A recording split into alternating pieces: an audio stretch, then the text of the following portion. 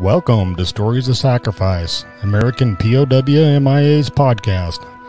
The voice of the missing in action and those that are buried as unknowns in our national cemetery. I'm your host and lead researcher, John Bear.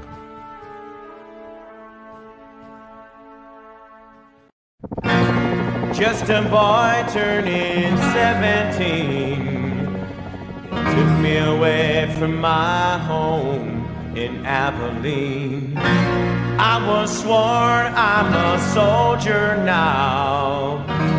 I was trained to survive. And from a boy I became a man. We journeyed to a place called Nam. Spent 13 months of living in fear. They say it's over, but I'm still here. Hey, America, can you hear me? Don't you remember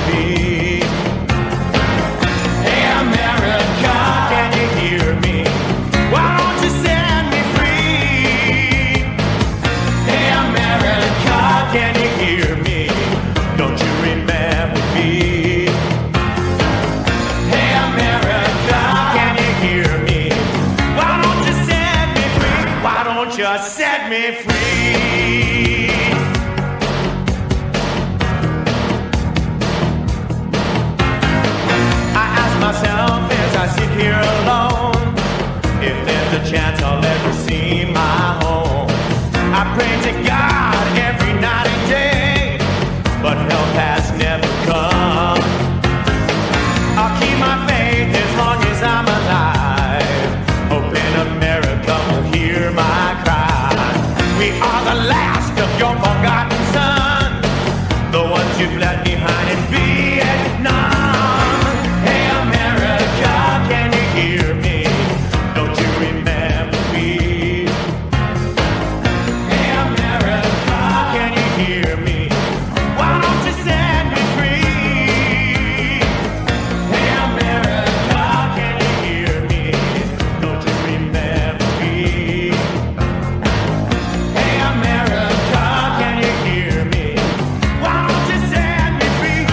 Why don't you set me free?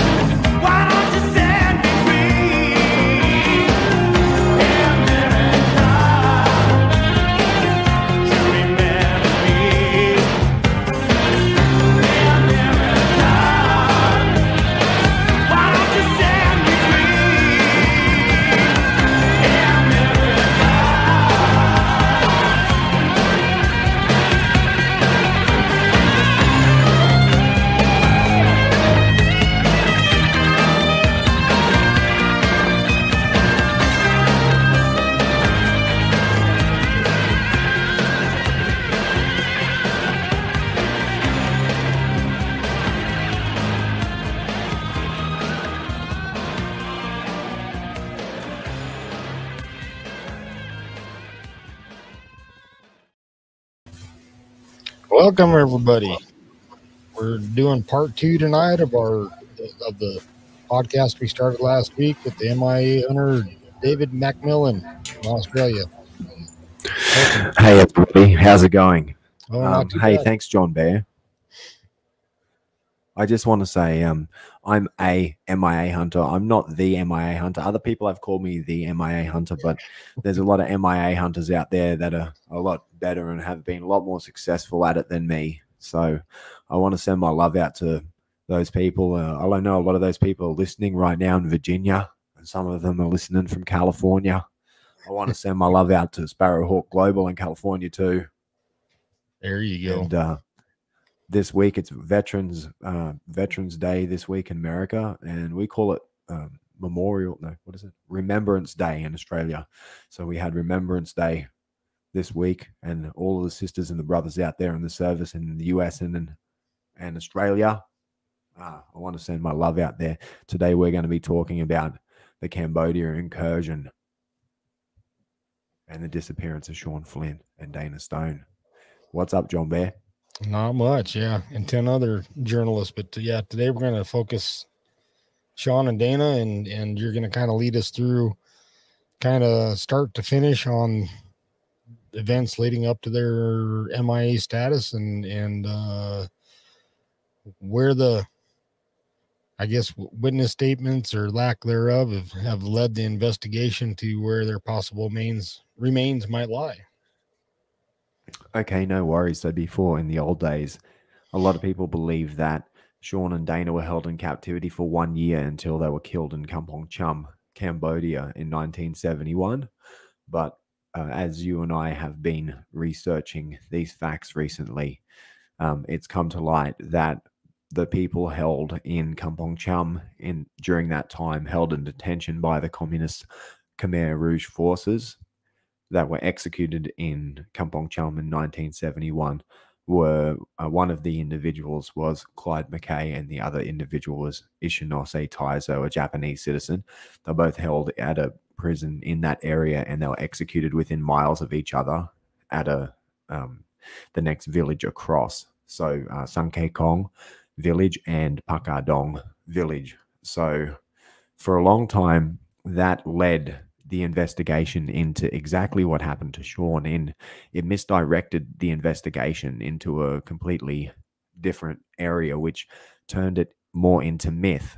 And everybody believed that Sean and Dana were held in um, detention for over a year or two years. And nobody believed that they could have um, fallen foul of banditry or they could have been killed or executed um, fairly quickly after they went missing. So, and some of that was kind of due. Some of that was kind of yeah. due to the the intel by these analysts. You know, were mistaken mistaken Sean and Dana for two others. Uh, you want to talk a little bit about that? You know, the, yeah, the well, was. Yeah. Uh,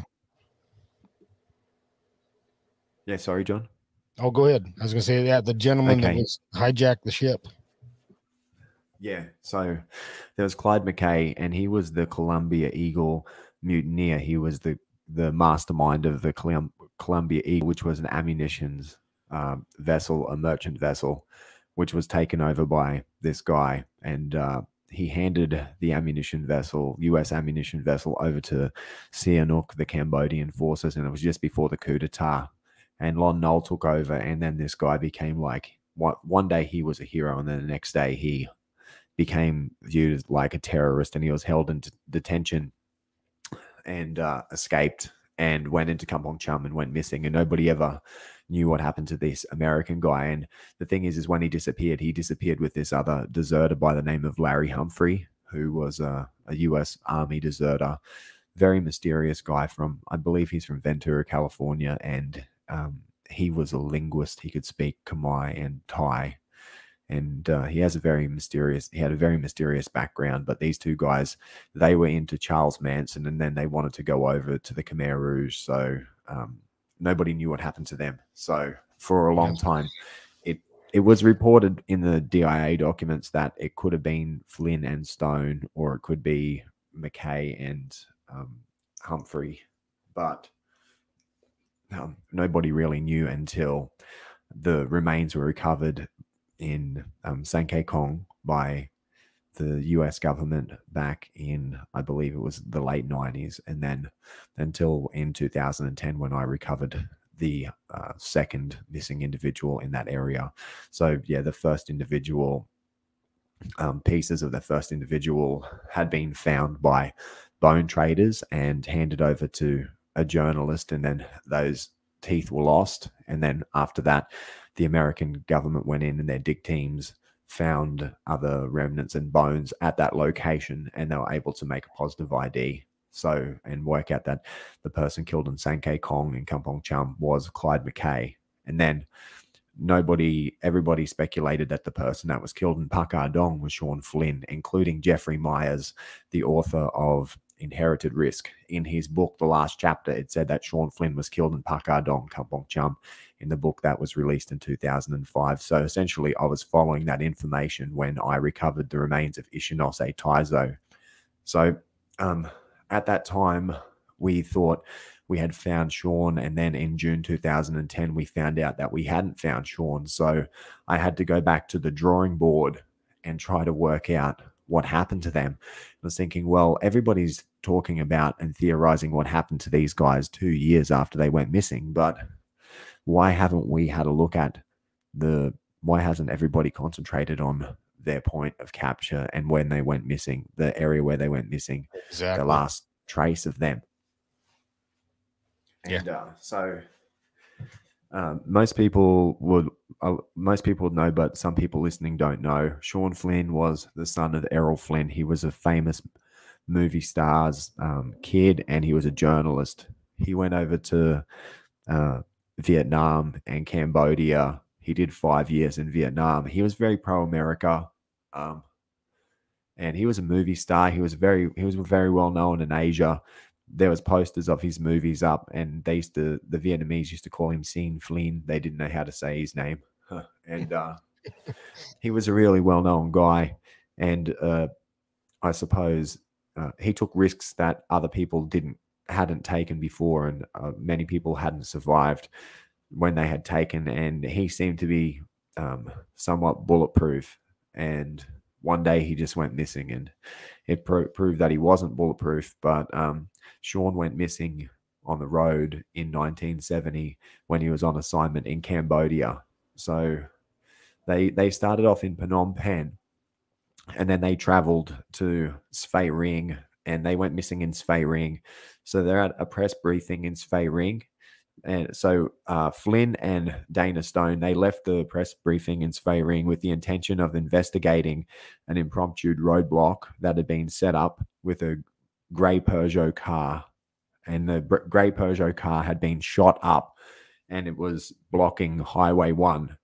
The grey Peugeot car, everybody at the press briefing understood to have belonged to a group of journalists that had went missing the day before. They told them they told everybody that they were going to drive back from Svay Rieng to Saigon, and they'd been ambushed. So, um, some of the people in the press briefing that day they jokingly remarked how much Sean Flynn and Dana Stone look like Peter Fonda and Dennis Hopper, and uh, the characters out of the film Easy Rider. And uh, Flynn wittingly remarked, "No more like Queasy Rider." This is just before he went missing. One of the last things that he said. So Easy Rider, Flynn- yeah, queasy rider. Yeah, so um, Flynn and Stone decided to travel with a mobile press delegation and head out to Highway 1, Chipu Village, Svay Rieng, to observe the roadblock. The last piece of footage of Flynn was taken by a French documentary film crew. The film shows Flynn on his motorbike roughly 150 meters from where Claude Pont Arpin, Akira Kosaka, and uh, Akira Takagi had been captured. He has shown briefing a French journalist, Christian Bosquiat, on troop movements. Okay, so uh, at that time, Sean Flynn was dressed, and Sean and Dana were dressed in paramilitary style clothing. Uh, in addition to the paramilitary style clothing, he had a purple krama, an Australian bush hat, and he wasn't. He was wearing flip flops. He wasn't wearing boots. Dana Stone was wearing boots, and he was dressed similarly with a Australian bush hat and uh, American camouflage uh, army pants and army boots. So, uh, so Lon Nol's troops ranks, uh, no, yeah, Lon, Lon Nol's tanks and troops that day closed to the position, close to that position, decided not to take the roadblock but to withdraw. Bosquiat and the rest of the press delegation decided to follow the military out of there. And Flynn and Stone, concerned about the welfare of the journalist and the car that had been shot up decided to take a closer look and they rode in the direction of the roadblock and they've never been seen again since that moment.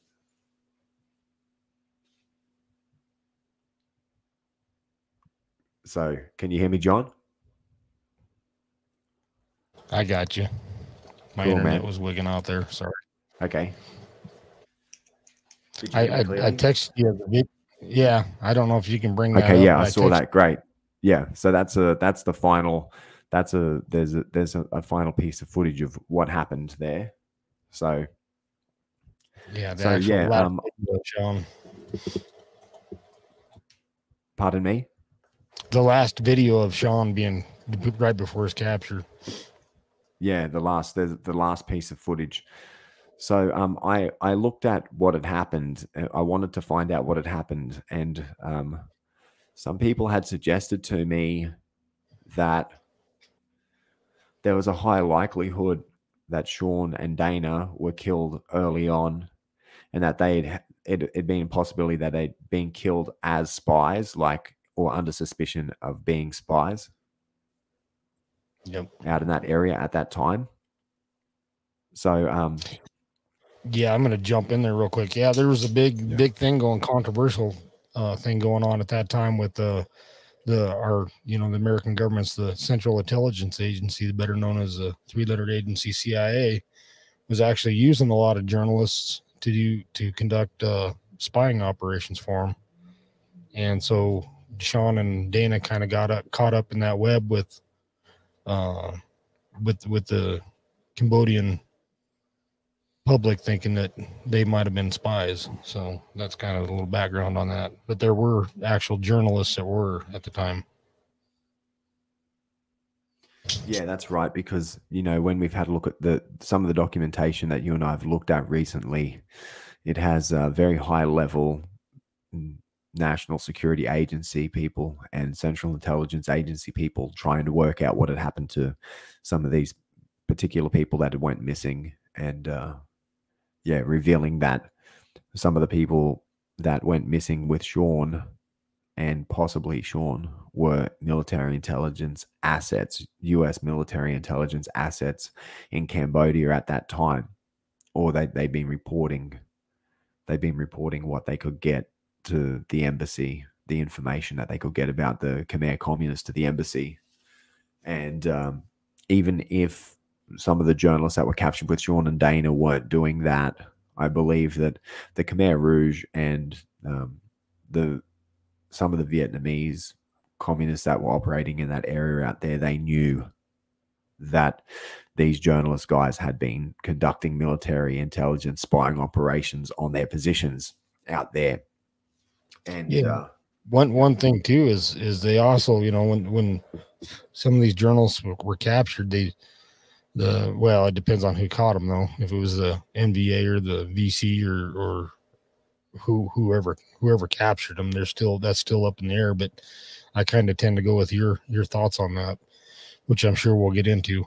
But uh um yeah, Sean's background, uh, it was pretty well known that Sean was one of those guys that you know had embedded with uh, special operations forces in Vietnam. At you know going into Laos, Cambodia, or other, or other areas, and he was actually on point with a rifle at times.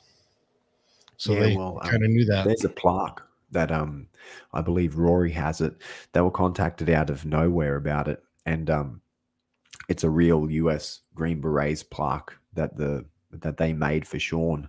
The Green Berets um, consider Sean as a honorary member. So yeah, that's right. And um, I think you know that this is the issue with what happened with Sean because in the areas where there was Southern Vietnamese military forces and there was US military forces, well, it was pretty easy for him to get out of anything because he was famous. But I think what what happened technically with him and Dana, what they didn't realize, the way that it- what they were doing was being perceived by the Cambodian communists who were very territorial as Sean and Dana were trespassing and not taking their directions and deliberately trespassing on their territory. So uh, the way that they were dressed. And this is there was a there's a famous journalist who told me early on.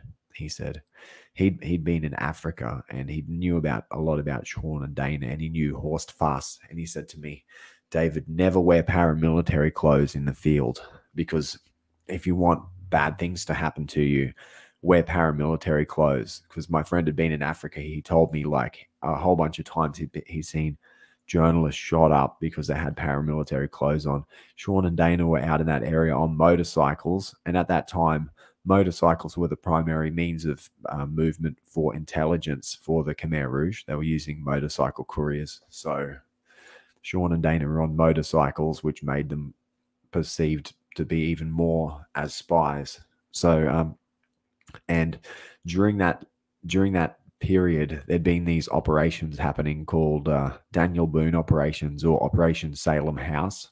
So, since the early 1960s, the US Special Forces had been carrying out secret reconnaissance and mine laying incursions into Cambodian territory. In 1967 and 1968, under Operation Salem House, about 800 such missions were mounted, usually by several American personnel and up to 10 local mercenaries, in most cases dressed as Viet Cong. So, one Green Beret team inadvertently blew up a Cambodian civilian bus, causing heavy casualties. The code name of the operation was changed to Daniel Boone, and from early 1969, the number of these missions, uh, these secret missions, doubled. By the time of the coup d'etat against Sihanouk on the 18th of March 1970, over a thousand more of these operations have been conducted. Out of a total of 1,835 missions, 24 prisoners were taken and an unknown number of people were killed or wounded by the sanitized self destruct anti personnel mines laid by Daniel Boone teams up to 30 kilometers inside Cambodia. So um, I think the the security forces that captured Sean and Dana in Cambodia, they call them Santa Sok, which is um, like a security guard, like militia, local village level um, guy, region like village level guy, village level security guy, Right. and uh, they they're the they're guys that captured Sean and Dana. And uh, when Sean and Dana were captured, as I said, both were wearing military style clothing and were traveling on a motorbike. At that time, these were the number one means of delivering intelligence. The the Sandersock easily could have surmised that uh, Sean and Dana were Daniel Boone operatives. So, you know, you could say that, don't you, don't you think?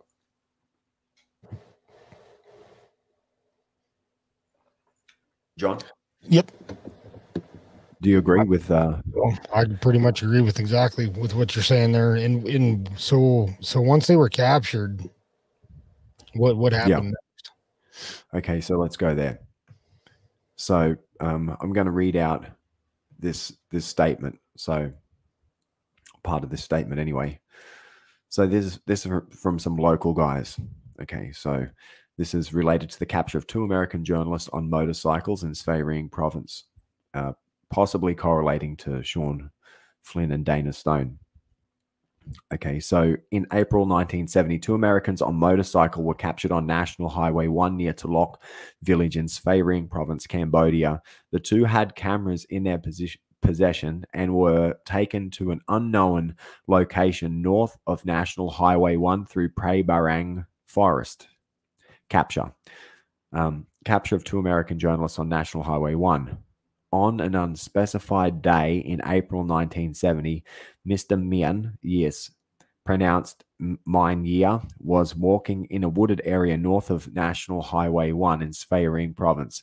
He observed Mr. Leng Sade, a Cambodian national who was forced into assisting the Vietnamese Communist forces. He saw the two Viet Cong personnel telling Mr. Leng to stand at the south side of National Highway 1 and hold a cable tightly while they stood on the north side holding the other end of the cable. The objective was to trap and take prisoner unauthorized travelers on the road. At around noon, two American journalists on motorcycles coming from the west were ensnared in the trap. Mr. Min Yes pointed out the location of the trap and uh, After the two were trapped, the Americans' heads were wrapped in blankets.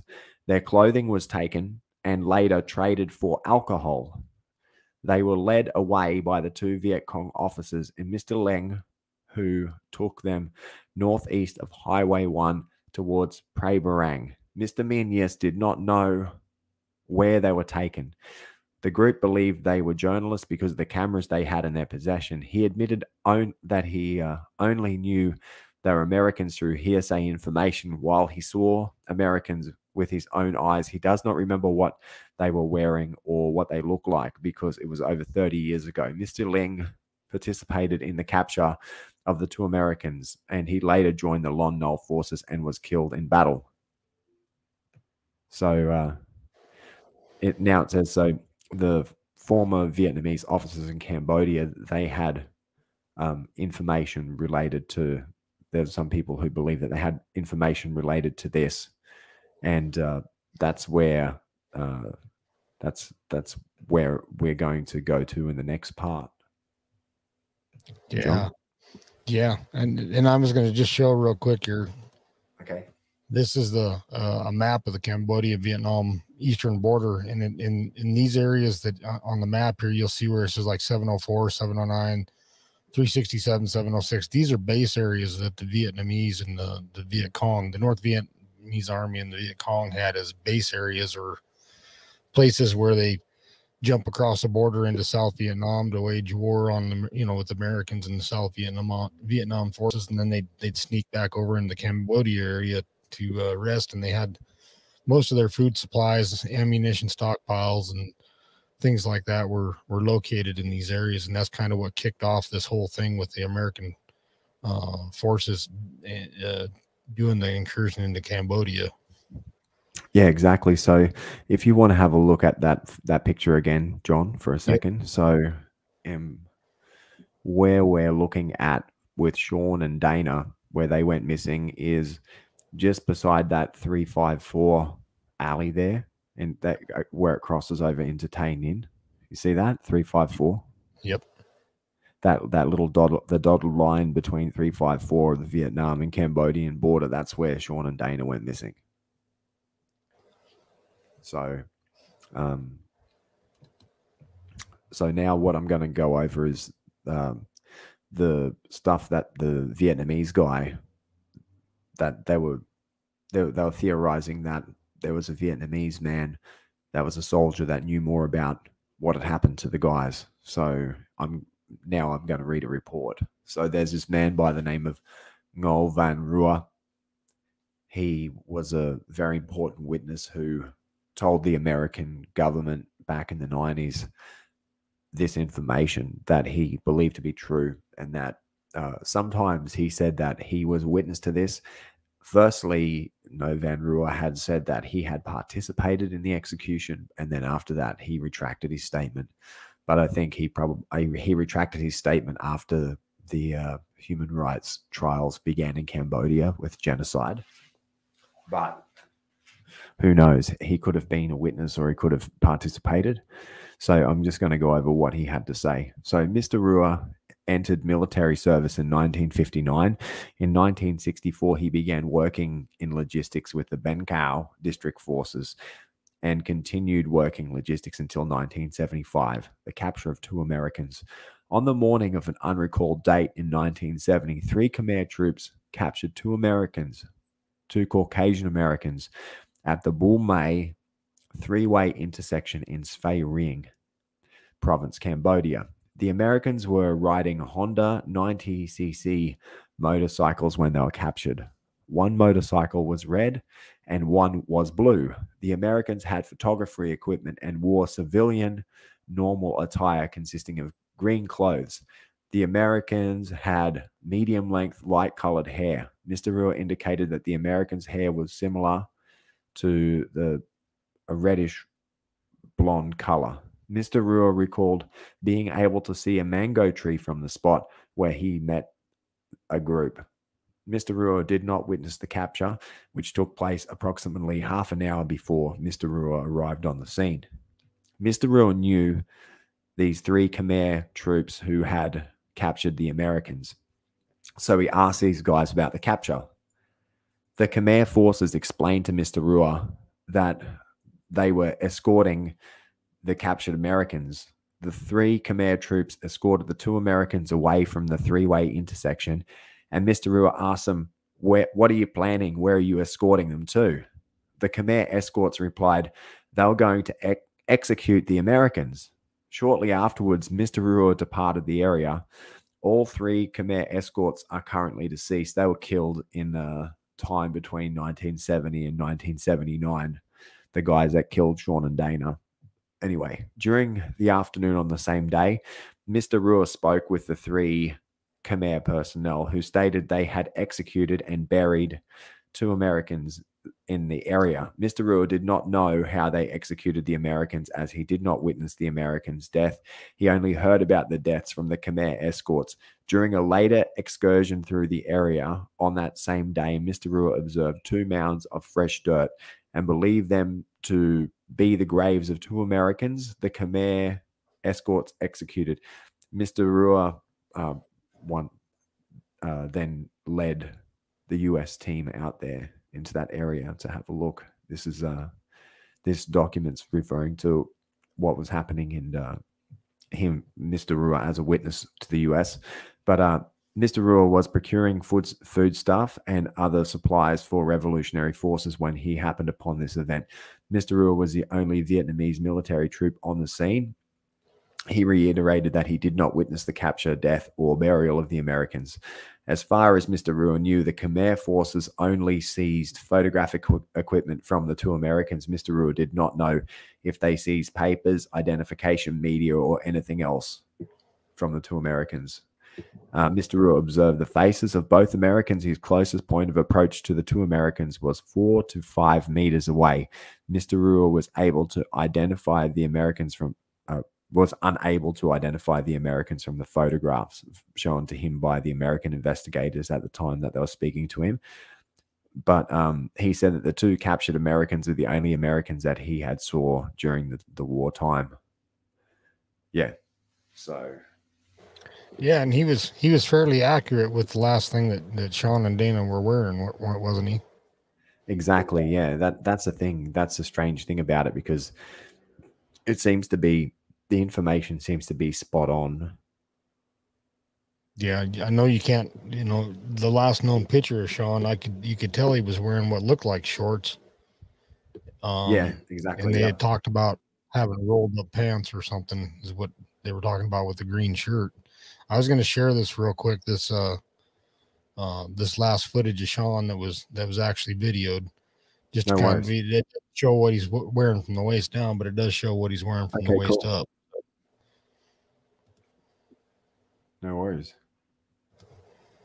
Just a sec here.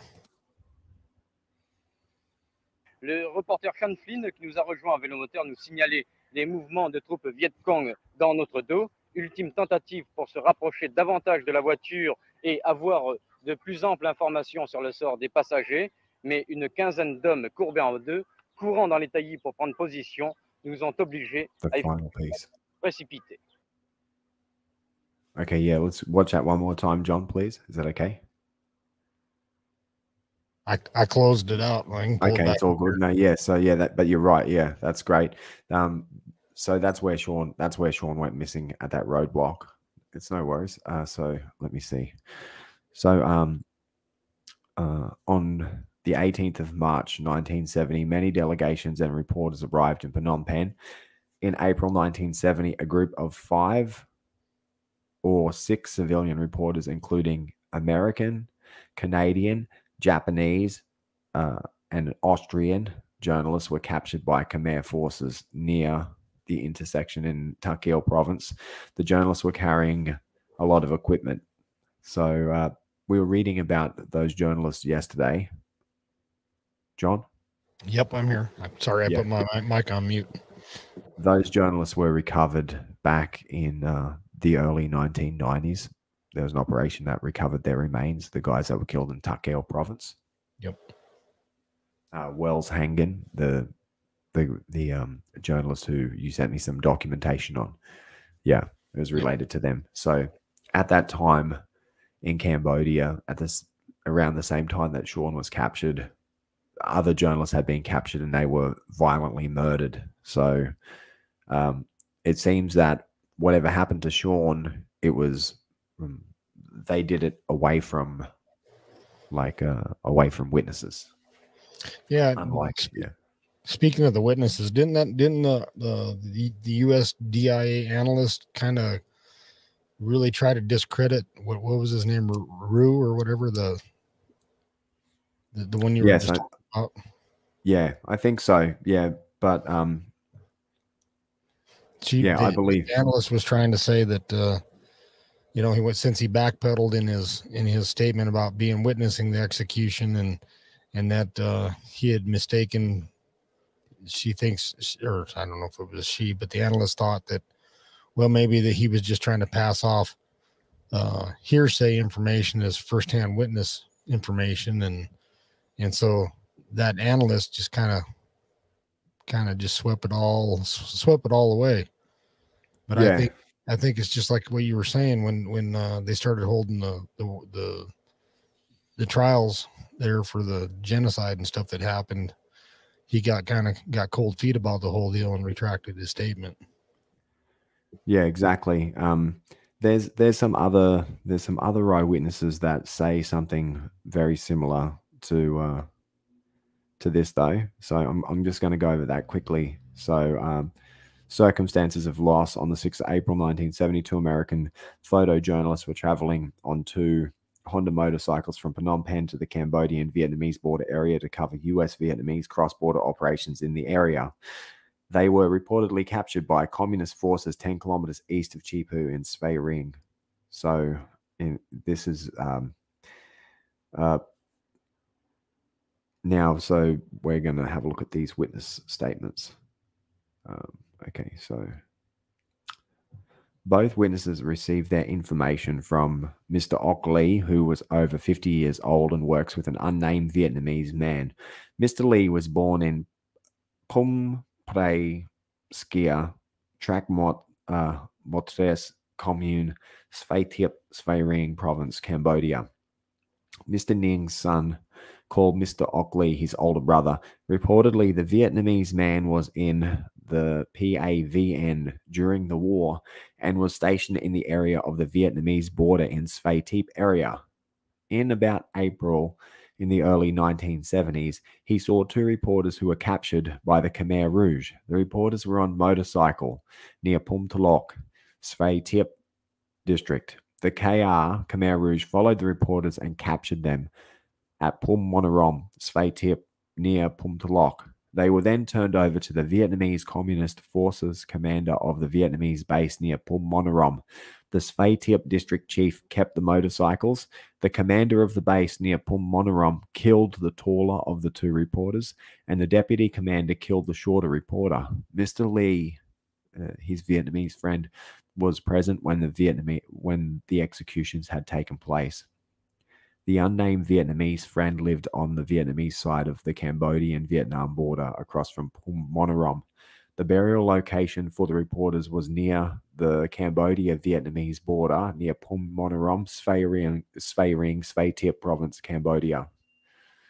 Uh, yeah, so the reporters were buried in a grove of trees about one kilometer east of the village on the Vietnamese side of the border. Uh, it says neither of the sources knew the name of the Vietnamese village. The the bodies were buried east of a PAVN cemetery, approximately 100 meters from a small road that uh, accommodated foot, motorcycle, and ox cart traffic. The road ran from the Talok Pagoda, seven kilometers to the burial location in Vietnam. From the small road, there was a network of trails north to the area of a grove of trees where the reporters are buried. The trees in the grove are small and are called schmack trees. Mr. Lee resided in uh, Siem Reap City, Siem Reap Province. Uh, yeah, so this this is these are other eyewitnesses that are coming up with similar information. So um, sometimes the reporting differs on whether it was Vietnamese that were involved or Cambodians, but there's a lot of uh, it's him, it's him, it's him, it's him. Like the Vietnamese blaming things on Vietnamese, Cambodians blaming things on, uh, yeah, Cambodians blaming things on Vietnamese, and Vietnamese blaming things on Cambodians. There's a lot of that in the reporting. Yeah, well, and, you know, and, and there was a lot of that going on back then, wasn't there? Didn't didn't the Yeah. Cambodian people really hate the Vietnamese for the most part? Yeah, well, the Cambodian um, communists and the Vietnamese communists, they had issues back, even back as far as then. They were technically allied, but they also had issues. And the problem is, is I see it uh, when the reporting's talking about the guys, the civilians helping the um, helping the soldiers capture the guys on the motorcycles by holding the fishing net across the highway. Like, uh, yeah, it's just they uh, they were captured. They were captured out there by these bandits. That's that's a that's the saddest thing about it. They were captured by bandits, and I believe that the Khmer bandits they probably killed Sean and Dana because they didn't want the Vietnamese to know that they'd taken the cameras. I think that's Right. probably why. Right, right. They just That's, want to there's a good chance that that's that's why. So, do you think they made it that far up into Vietnam to be executed and killed, or do you think do you think they were just killed just down the road? I don't know. I think I think they were killed somewhere in this area. I don't know the specific information on exactly where they died, but um, these documents they they paint it. They paint a picture. You know that's. Um, so I I don't believe that Sean and Dana survived for longer than 24 hours. I can tell you that in in my personal belief, in all the time that I have spent on this case, I believe that Sean was detained interrogated and killed. And the reason why he was killed after he was interrogated is because they believed that he was CIA or they believed that he was a spy. These local thugs that had all of a sudden become the police in that area, they were so upset by the fact that Sean and Dana hadn't listened to their directions when they were when they were going around that roadblock in their territory that they executed them for that within their territory. Everybody knew that the Khmer Rouge was strict, but we didn't really find out about that until about five years later on a worldwide scale. But when it comes to, uh, yeah, out there in that area, I think a lot of the stuff that happened out in that area was kind of hushed up at that time, and there was bombing raids going on. So a lot of the witnesses were, the potential eyewitnesses were dying in that, or they were fighting out there as well. So you know, Yeah, one of the interesting facts that I found digging through the CIA files through their archives was in the presidential briefs that were given to the uh, the president at the time. Um, they they they were talking about there was zero B fifty two bombing campaigns in the camp in Cambodia. Uh, it was it wasn't until it wasn't until like a week or two after Sean and Dana were captured that those B B fifty two strikes according to these presidential briefs were happening. Well, I went back and was digging through some more NSA files and different things like that, and I actually found where uh, that wasn't true. That the, these bombings were bombings were uh, with B fifty two bombers were taking place almost up to a year before Sean and Dana, were captured. They started in '69, uh, bombing these base areas, and and they were the CIA was actually trying to control the media they had uh, um, released documents talking about how they would control the media narrative uh, on on the bombings, saying that they must have been mistakes or uh, the bombers must have been off course or or some darn thing like that. So the bombings were happening. You know, it had me fooled there for a while, but uh, after finding a few of these documents here this last week, uh, you know, that's one of the things that the CIA was kind of fibbing about, and I don't even know if the president knew at that time.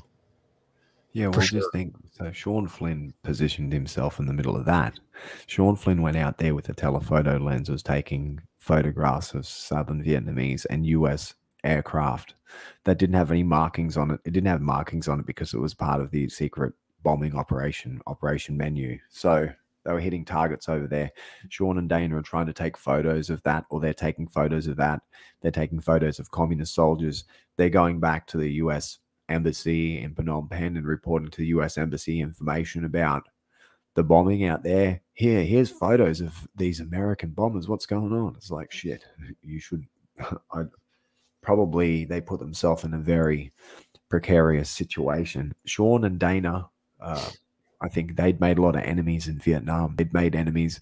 They were high profile, so there was people in the revolutionary forces in Vietnam that had fought like against Sean probably when he was with the Green Berets or up in Con Thien when they fought the defense up there, and Sean was involved in um, an incident where he where he fired back on some Vietnamese soldiers. I think he probably marked himself mm, with many governments by his work. When you have a look at the fact that um, Michael Herr and Sean Flynn and John Steinbeck Jr. together, they started the Dispatches News Network, which um, was the news network that broke the My Lai massacre story. So Sean had made a lot of enemies, and those guys out there, they were vicious and they didn't take their time to do due diligence. I don't believe and Cambodians, uh, the Cambodian communists were the type that would kill first. So um, I'm just going to read another document quickly, John. Is that okay?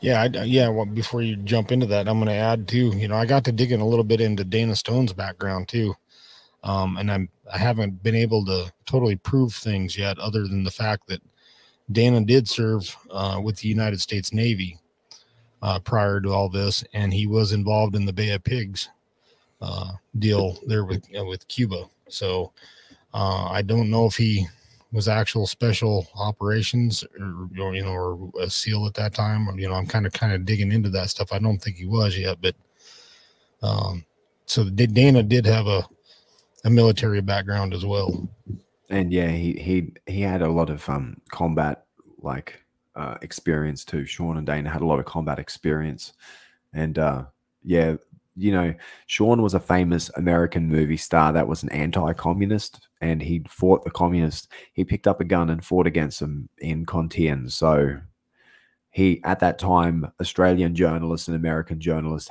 had believed that Sean had crossed the line between journalist to and had become an illegal combatant. So it's my it's my belief that everybody at that time, uh, politically uh, at that time had a reason to see Sean and the his colleagues uh, for a political for political reasons to be inconvenient, and the fact that they could disappear was convenient for uh, the Khmer communists. It was convenient for the Americans. It was convenient for the Vietnamese as well that they went missing. It was in the end, Sean going missing was convenient for all of those parties for political reasons because he was a truth teller and he uh, him and Dana were very very fearless and they pursued stories that um, had big payoff but were very dangerous and that's essentially how uh, they went missing and I think that to me it's it could the the whole thing it could have happened just as a random occurrence but it also could have been a, a, a kill operation. The whole thing, when you have a look at it, the way that it's all it was all set up, that all those guys went missing at that time. I think possibly that uh, the Khmer Rouge saw an opportunity to. Uh, they saw they had their enemy list. At the top of the list were capitalist, domestic capitalists, and foreign capitalists. So Sean Flynn was a very famous foreign capitalist in their eyes. So to take him and to kill him and to make everybody wonder what happened to him and to make that a mystery and and to do that with another 13 people from around the world that was a political victory for a terrorist organization like the Khmer Rouge right it's, I'm gonna it's an early victory for them Sean Sean going missing or them being able to kill Sean it's an early victory for their political organization yeah, exactly. I'm going to jump off subject here, just well, not totally off subject, but back onto Dana Stone real quick. Um, just to just kind of share a little family story about Dana. Um, his brother is John Thomas Stone. Uh, after Sean and Dana went missing, it was a couple years after, I think 73, 74, somewhere in there. Uh, Dana's brother uh, joined the United States Army. And uh, I know he was joining to go back so he could try to look for, for Dana. But uh, just as a, a side note here, uh, Master Sergeant Stone uh, served with, got out of the Army and went into the Army National Guard in Vermont and he last served as a master sergeant.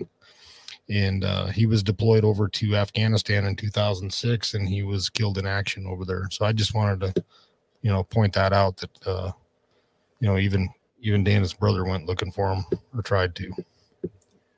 Yeah, um, his brother was a his brother was a great hero, and uh, yeah, it's it's un it's very unfortunate of what happened to the to these guys. Um, you know, you sent me that document and said uh, that source stated that he observed a burial of an American journalist. The journalist was traveling on a Honda motorcycle when he was challenged to stop, but he refused to obey the order.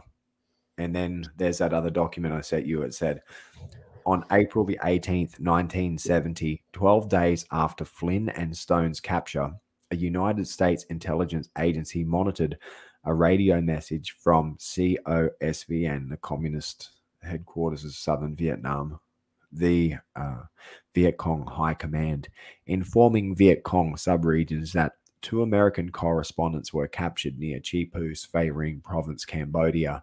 And from the experience gained from the capture of these correspondents in Cambodia, the Khmer Rouge are to be used in future capture of correspondents. So do you think uh well, I know what you think, but just for the sake of the the story here or the, or the you know the conversation, do you think that was the the Vietnamese government kicking the stone down the road, blaming blaming the Cambodians? Mm. I think it could be looked at like that, or it could be looked at like this the local Vietnamese and the local Cambodians, it's not like they had cell phones back there. It's not like you could pick up a phone and do due diligence like you can do now. They had to send all these radio um, transmissions through the Viet Cong High Command and all this type of stuff, radio signals and all this stuff. So it wasn't it wasn't so easy for people to be able to have for the revolutionary forces out in that area to have called up Saigon or something and said, "Hey, are these guys you know, are these guys cool? These guys are being captured out there in the revolutionary area, so their territory. So maybe the Khmer Rouge captured them, handed them over to the Vietnamese. They were interrogated, and either local Vietnamese soldiers out there in Cambodia or Vietnamese and Cambodian soldiers stationed out there together uh, murdered those guys. And the thing is, is they murdered them as spies, and then I think they realized, oh shit. Uh, yeah. Once the people in Saigon had got in contact with them, or the the Southern Revolutionary Forces that were trying to work out what had happened to the Americans that had went missing in the territory, and then they checked in with the other guys, and they're like, "Oh yeah, we killed all those guys." Well, then I can see why the Vietnamese would say, well, we don't want to have anything more to do with um, holding foreign prisoners in Cambodian territory because look at what happened. We just took these guys, we killed them, and we shouldn't have taken them or killed them. And it's created a huge problem that everyone's just going to have to cover up. So, do you think that's why the three journalists were released, Pond and and uh, those others later on? Well, or was it they just Anson, their background checked out? Well, Anson, uh, was it was it Robert Anson, I believe, maybe that's Correct. his name. Um, uh, Pham Xuan An went out of his way to he sent a message to the revolutionary forces to tell them not to kill him, and that was like six months after Sean and Dana went missing out there. But yeah, so you know they they challenged these guys on the motorbikes the the last people to see them, they would tell you that the American guys, I mean the French guys that were out there, the French journalists would tell you that Sean and Dana were buzzing these guys. They rolled up around that roadblock four times on the motorbike before they were captured. So they were from the these guys, these crazy, um, like local security commie guys, Cambodian guys out there, who were essentially bandits and. Uh, to to them, those guys were screwing with them. So, so yeah, um, I'm just I'm going to read something just quickly. It's another document related to the same type of information. So, it's related to a 78 year old Cambodian national's um, statement, lifelong resident of svaitip district, Svay Rieng province, Cambodia, who acquired this information firsthand. So, sighting of two Caucasians under Khmer communist control near Talok commune, Svay Tip, Svay Rieng, Kampuchea.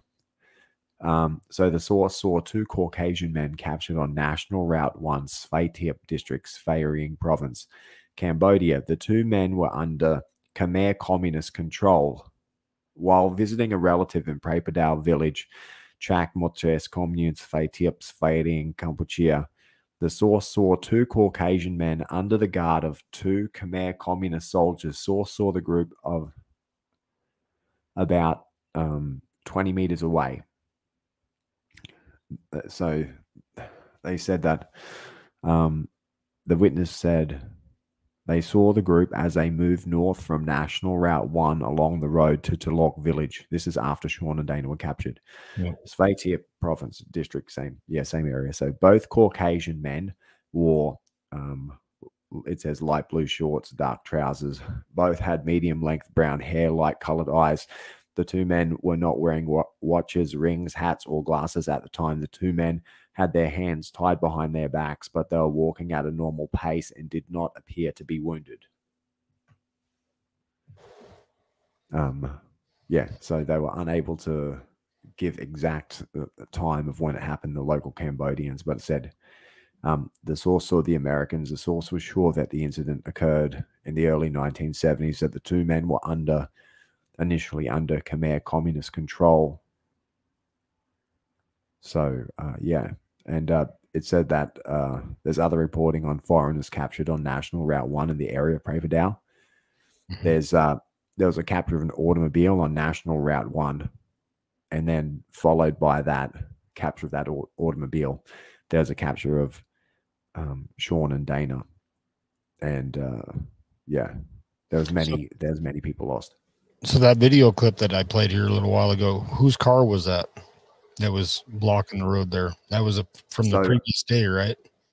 Yeah, so the previous day, two cars went missing. One, uh, I, I believe they're both Peugeots. One was white, one was grey. Well, what- maybe it was a Citroen and a Peugeot. But um, the uh, Gilles Caron, the famous French photojournalist, and his friend uh, Guy Hannoteaux from, uh, I believe he was Swiss. They went, they went out in that area in one car, and there was another group of journalists with them uh, a guy by the name of Claude Pont Arpin, who was a French uh, a French guy from Saigon who lived in Saigon for many years, and he had two Japanese journalists with him.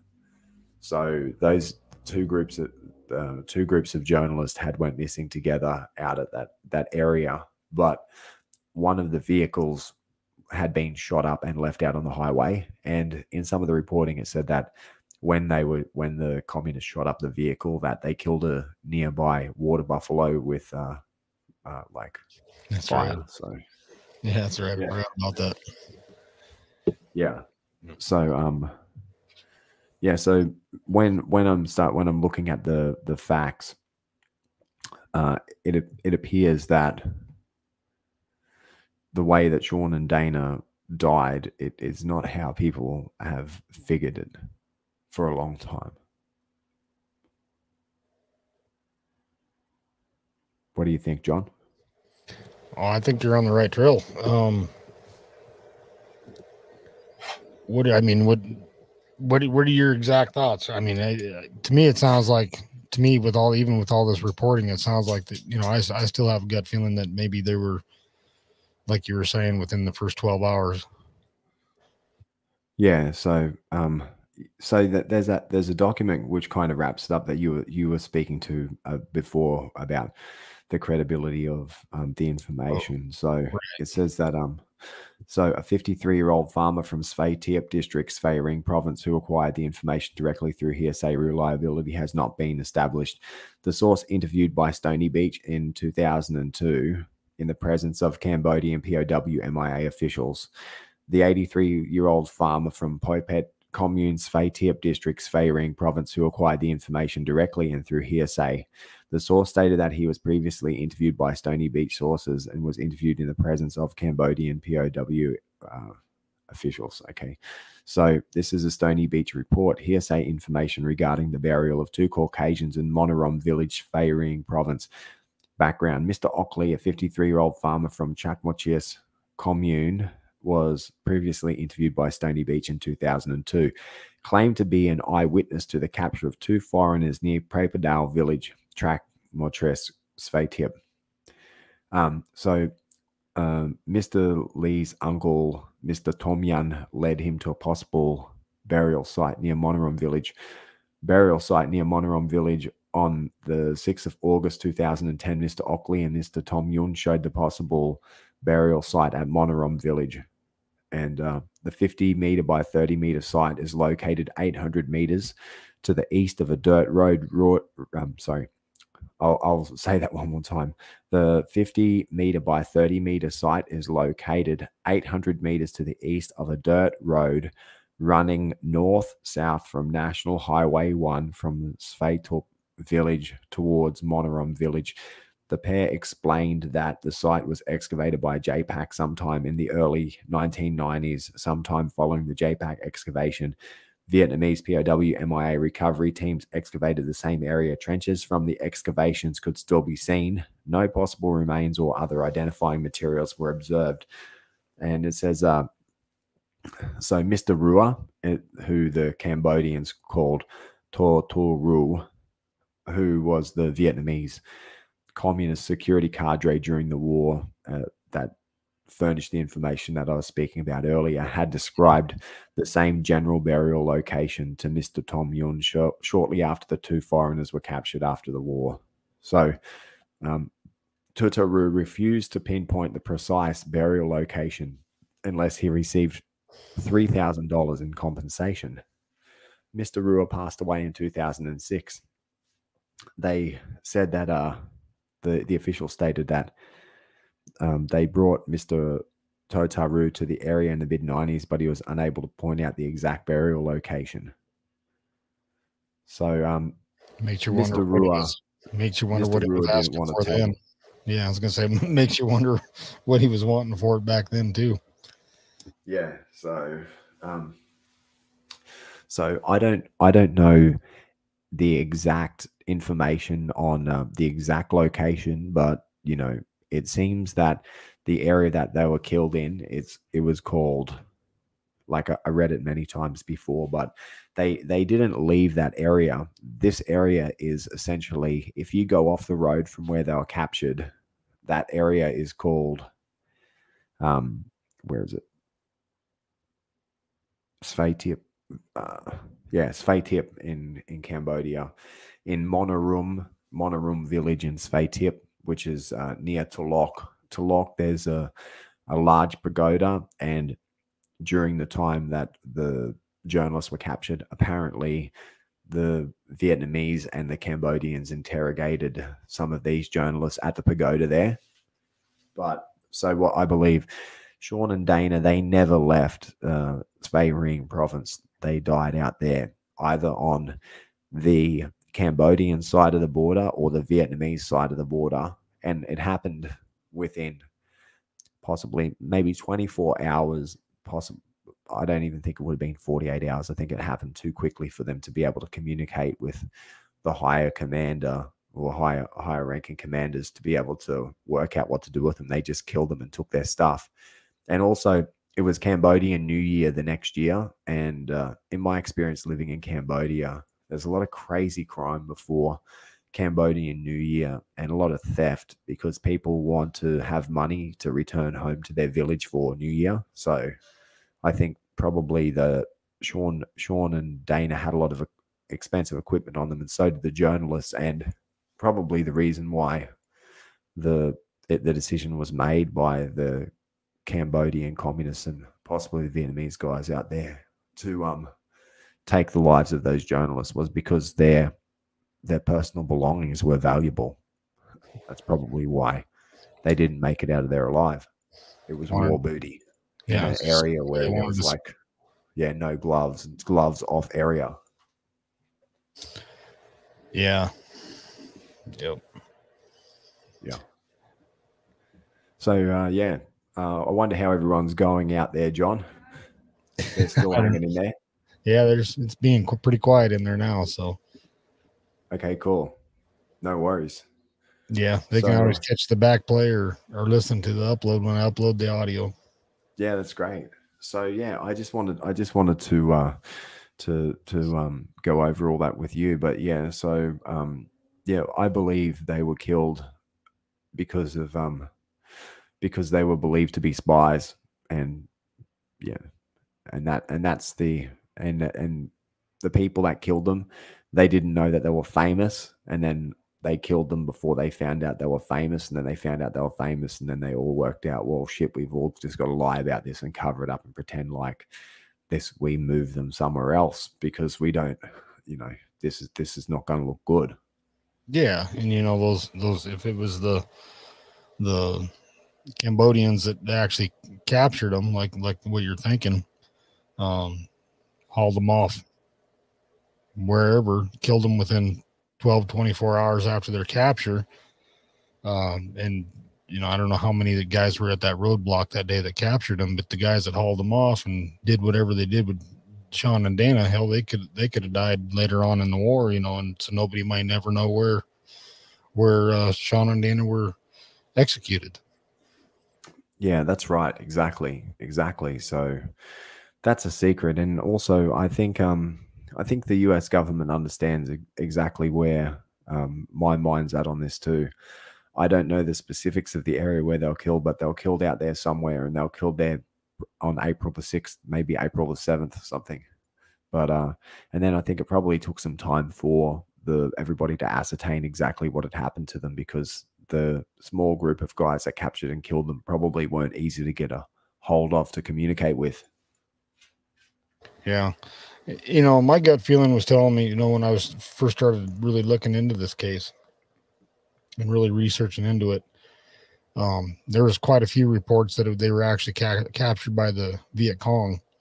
Uh, Viet Cong had a camp there just south of, I think it was just south of the roadblock there in the in the tree line, and there was That's correct. wit- yeah, witness statements saying that uh, that that they were captured by Viet Cong, um, and uh, the Viet Cong and the NVA knew the United States was getting ready to kick off this huge operation into Cambodia within the next few weeks. And so my first thought was, well, they probably moved them up to the COSVN, the, the COSVN headquarters, um, up there in what do you call that, Maimot? yeah, what? Yeah. Vermont. I figured they'd moved them up into that area, but then I got to looking into that, and it was a week or two before the U.S. kicked off the incursion that uh, the COSVN had actually moved that that huge base area uh, kind of to the northwest, up around uh, uh, Kratie, just Yeah. kind of south of Kratie. Yeah. And so I was thinking, well, you know, what they probably what probably happy happened to them is when they were captured, they were moved up, there to my Memont to be interrogated by the high command, and then uh, moved with the high command when they moved their assets uh, northwest because they knew the the invasion was getting ready to happen. And I know there's been some people looking up around that Kratie area, and they come up empty-handed. Yeah, well, I think the, the problem with that area is um you've got to to define who was Viet Cong and who was Khmer Rouge and like even the, the Vietnamese that were operating out there, they had they were using like Khmer Rouge, like not Khmer Rouge, but like Khmer locals that were technically Viet Cong. They weren't they weren't on the Cambodian side, you know. So and there was a whole bunch of groups of different guys out there at that time. If you have a look at the history, um, the Vietnamese attacked Chipu village, the Cambodians attacked Chipu village around the same time. This is all the in the time leading up to the uh, the bombings and the the actual U.S. and Southern Vietnamese incursion into Cambodia. It's just in the time leading up to that. So it it's my my belief that they were killed because they didn't want to have they didn't want to be captured the, like they didn't want to have those prisoners out there if when the Americans had rolled in, if they came in, they captured a base, a Viet Cong base out there, and they had American prisoners, especially ones that were high profile as Sean, then I don't think they would have they would have uh, it, it would have went well for them. They probably just thought we don't want to have prisoners if the Americans come in here and cap capture us. We don't want to be caught with prisoners. So just like take them over there, shoot them, and hide their bodies, and no one will know any different. Yeah, and it's gonna be hard to find if they if they were executed in any of those base areas and buried. You know, I'm pretty sure it was a shallow grave, and with the American, you know, with our uh, Air Force coming in there with the B-52s and just carpet bombing those areas, there might not be anything left. Yeah, exactly. Well, and, and I think that um it wouldn't have taken much for them to work out, like to ascertain that, or to be able to prove from their side, their perspective anyway, that Sean and Dana were CIA after they captured them. Like even, you know, Sean's a famous movie star, American guy. They've got they have all their documents and they've got like all these. They were dressed like paramilitary special forces.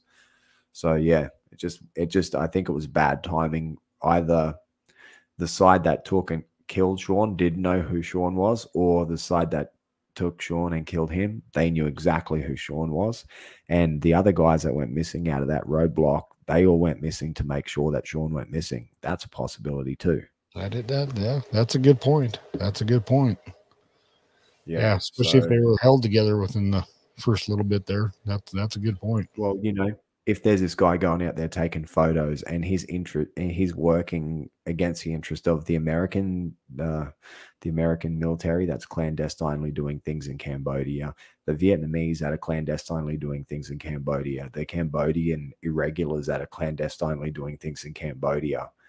And he comes out there, he's taking photos, he's reporting to the US embassy and all this stuff. Who knows what type of back door they ha- everybody had back then? But if if Sean went out there, you know, any one of those agencies, the Lon Nol troops could have set him up.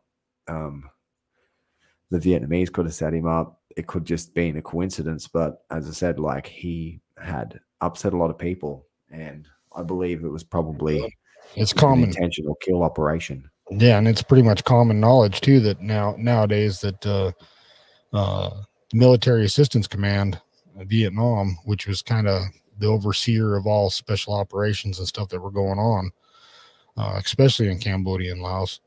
Uh, the North Vietnamese Army had infiltrators go in or had people spies go in, and they were within our own uh, Military Assistance Command headquarters as spies. Yeah. Yeah, exactly. So um that that means that who knows how many of the journalists that went missing in Cambodia at that time actually were legitimately just working as journalists and were not moonlighting as intelligence operatives. Who knows how many? Yeah, exactly. Or And moonlighting. if there's even one, even right? What's that? if there's even one that the Cambodians could have proven that there's one of them that was like that, then all the others would have been tarred with the same brush and whacked under the suspicion of the same stuff. Exactly. Exactly. So yeah, John. So thank you for the podcast today. Do you you said that we're going to go to a, a commercial and uh, at towards the end we're going to Oh, do. no, no, I okay. love that commercial. That's so that's so cool. But um, that's that'll be a secret for the for the audience at the end. But anyway, man, uh, what what are your thoughts about today? Uh, like to wrap it up in conclusion, what do you reckon? Yeah, you know, it's things are still way up in the air, you know, on what really happened. Um, you know, unless there's an actual witness that comes forward, or or you you actually find them uh, the. U.S. government actually finds him. Yeah, exactly. um, well, I don't know how hard they're trying. Yeah, well, you know, that's it. Um, I don't know all of the answers on what happened to Sean in the end, but I know the information that um I believe to be legitimate, and it's all uh, United States reporting. So it's and it's very and um also the the local people out there they say they'll tell you it straight up that those guys didn't make it out there alive, that they were captured and killed, and that the local Santa Sock, they just killed them and took their stuff. That's what they'll tell you. They used to just. There's a story out on the highway that I heard, which was weird. We filmed it, but there was this lady and she saw us and she said, Where are you going? We said Chipu. And she said, be careful in Chipu. There used to be this man, and he would ask people to come to his house. And when they come to his house, he'd steal their car, he'd steal their motorbike, he'd kill them and make them disappear. And this is like what they were telling. And it's like, well, fuck, this sounds like uh maybe this relates to the journalists. Whereabouts did it happen? Oh, at that road, he that that's a man that used to live near that roadblock. So apparently the guy who the guy that they're relating relating to, this guy's name was Ta Chun, and he was the, like the security commander out there at that time. And uh yeah, he nabbed people and killed them for their stuff. Not just those journalists. They there was incidences where Vietnamese civilians, and one incident in that village where a Vietnamese soldier was killed by two Cambodian youths who were technically civilians because they wanted his hand grenade and his AK 47, and they hit his body after they killed him. And then it took years for them to find out what, what had happened to the Vietnamese soldier in that village. So there's a lot of really, really, really dark medieval shit that was going on out in that area at that time. Probably still is too. Yeah, no doubt. All right. Well, you know, that's, I think just kind of wrapping it up is just yeah, it's it's up in there unless we find or unless somebody comes forward and and uh yeah, it was that's that's that's as much as I know about it. And I said, um, I hope that the U.S. government knows much more. That I, I believe they do, and I hope that um that uh that the U.S. government finds Sean and Dana, or I hope that maybe they have found them. I don't know. Who knows? Who knows if they found their remains or not? It's a possibility. If they had found them, it would be classified, I believe, anyway. So, but um, I know that they were killed out there in that area, and uh, that in my belief, that's what happened to every all the journalists that were captured out there. I I don't real I doubt that many of those guys, or if any of them, made it out of that area alive, because if one if a couple of those guys got whacked in that way well i can't see why all of those guys weren't whacked in that way and if something was rushed and they jumped the gun and they killed a whole bunch of people then i don't think they just would just have killed two people and then left 10 ones alive jumped the gun on killing two especially when in Takeo province when the other group of journalists were captured they killed all those guys within like 24 hours they interrogated and murdered them very violently so right. I can't see why they would have killed two and then let 10 survive. And then those 10 never showed up. So if those 10 never showed up, there's no evidence of them ever seen after that roadblock, then I don't know. It's common sense to assume, but it's an assumption as well. It's common sense to assume that probably all of them were whacked at that place and all of them didn't make it out. And in the past, people have always believed that they were held in captivity for a long time, but that's a mystery still, right? Right, right. Yeah, what there was live sightings supposedly of them for years after their capture. Yeah, some some cases.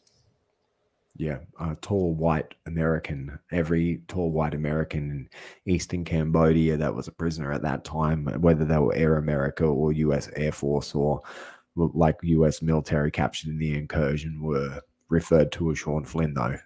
Yeah, yeah, and most of them that they had sighting reports on all said that they're real tall Americans with uh, what was it, reddish blonde hair and long. Yeah, exactly.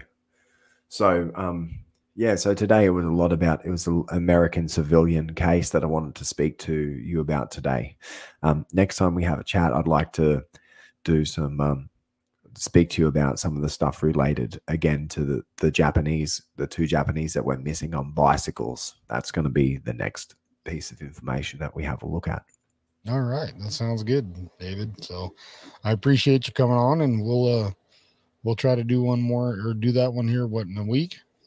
Yeah, yeah, guys. So thank you with bear- thank you everybody for bearing with me, and thank you for bearing with me, John. Um, I'm a, I I just do uh, I work doing the night shift as a COVID marshal, and uh, Sunday. So Sunday is the end of my week, and I get to check in with you guys at the end of my week. So if I I seem a little bit sleepy, it's because of the fact that I've just uh, essentially just woken up. But I really like to be able to connect with you, John, and to have this chat with you over in Colorado at this time and to speak about this topic, and uh, for you to give me the opportunity to voice my opinion in a yeah in a democratic way. there you go. All because right. The thing is, is regardless of what anybody thinks, Mr. Mike Pompeo said yesterday on the internet on his page that Americans don't like socialism. That's what he said. Anyway, it's just a joke, but he did say that. Amen. Amen. Okay. Anyway, so you see, I got the thin blue line, the thin green line. Respect everybody, and thank you, John, for having me on, sir. So from the okay. sunny coast, this is the DMAC out. All right, I'm gonna play the outro here and uh, get back on with you for a minute. Cool, man. Thank you.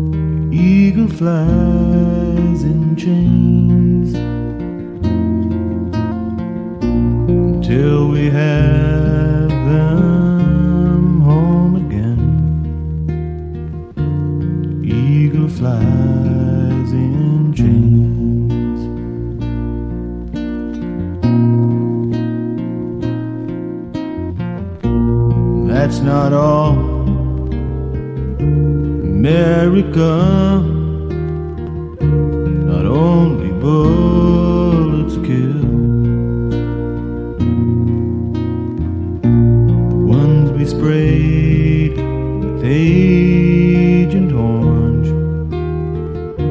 are sick and dying still. We can't forget the. Con-